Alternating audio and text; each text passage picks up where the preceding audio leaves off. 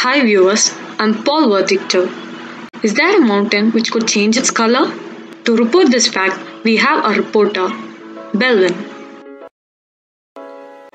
Hi, I'm Belvin from Hardhar to report for the fact about Uluru.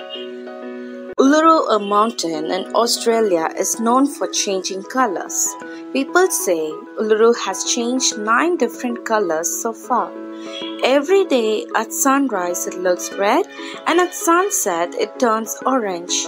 In certain seasons it turns blue and purple. The chemical nature of the mountain and variation of sun's rays are the reason for color change. When there is a change in the climate and sunlight around the mountain, the chemical nature of the mountain allow it to change color. The lesson that we learn from Uluru is no matter how hard the situation around changes, don't worry.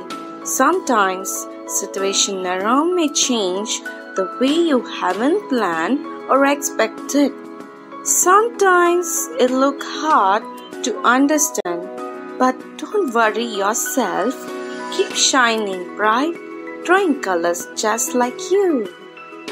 Thank you.